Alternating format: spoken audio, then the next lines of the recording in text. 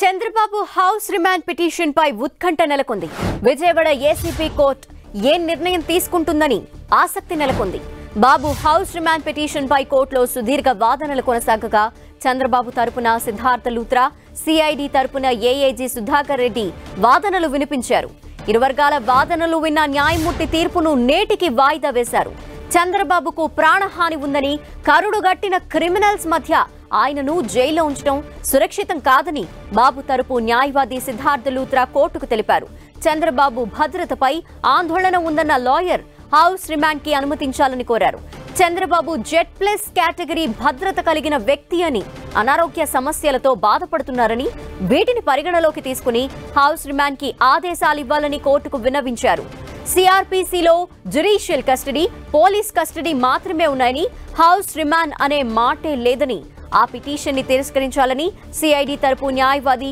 పొన్నవోలు సుధాకర్ రెడ్డి వాదించారు చంద్రబాబును హౌస్ రిమాండ్కు అనుమతిస్తే సాక్షులను ప్రభావితం చేసే అవకాశం ఉందని చెప్పారు బాబుకు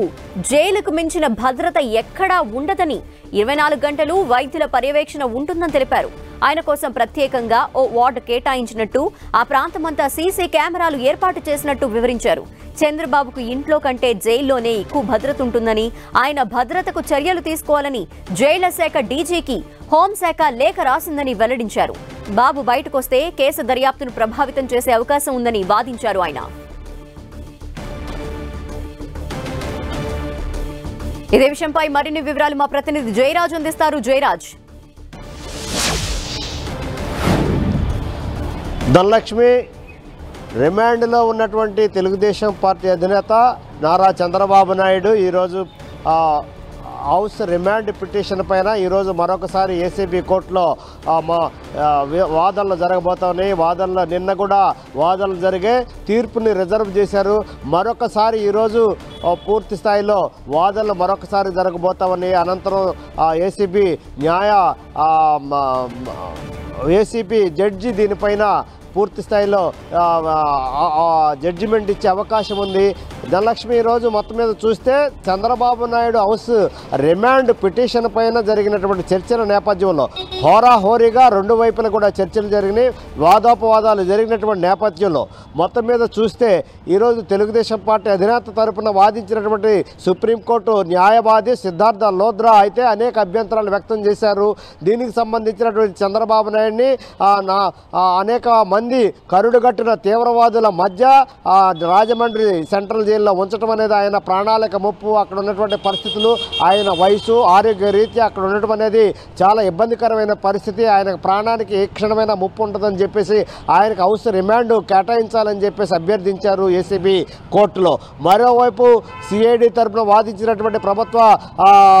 ఏఏజీ పొన్నవాళ్ళు సుధాకర్ అయితే దీనికి తీవ్రమైన అభ్యంతరం తెలిపారు రాజమండ్రి సెంట్రల్ జైల్లో నారా చంద్రబాబు నాయుడికి అన్ని రకాల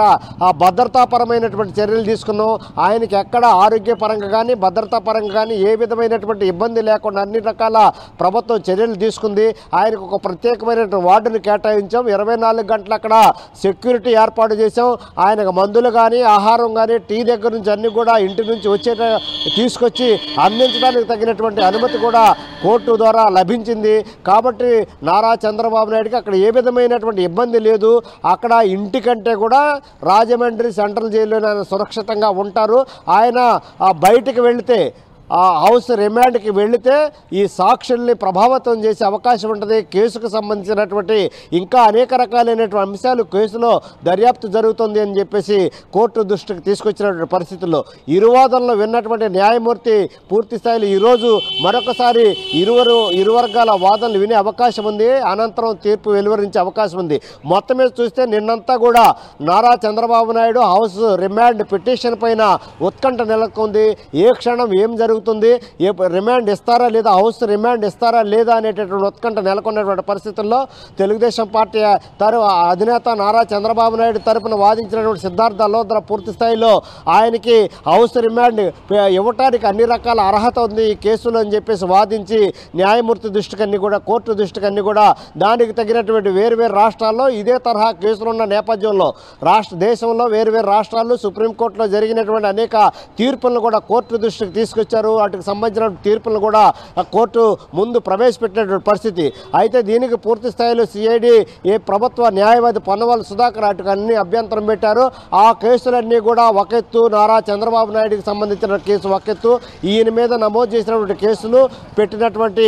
సెక్షన్లు ఇచ్చినటువంటి తీర్పు నేపథ్యంలో ఆయనకి ఈ కేసులు కూడా వేరే రాష్ట్రాల్లో వేరే ప్రాంతాల్లో జరిగినటువంటి కేసులు అక్కడున్న తీర్పులు నారా చంద్రబాబు నాయుడుకి వర్తించవు కాబట్టి ఈయన్ని హౌస్ రిమాండ్ ఇవి ఇచ్చేసే అవకాశం లేదు ఆ రకమైన అర్హతలు లేవు ఈ కేసులు అని చెప్పేసి పూర్తి అభ్యంతరం తెలిపారు పల్లవాలు సుధాకర్ రెడ్డి దీనికి సంబంధించినటువంటి రెండు వైపుల వాదనలు విన న్యాయమూర్తి ఈరోజు ఆ పిటిషన్ని నిన్న మా తీర్పుని ఈ వాయిదా వేశారు ఈరోజు మరొకసారి వాదనలు వింటారు వాటికి సంబంధించినటువంటి అనేక రకాలైన అభ్యంతరాలు ఉన్నాయి అనే అంశాలు తీసుకుని అన్ని కూడా పరిశీలించిన తర్వాత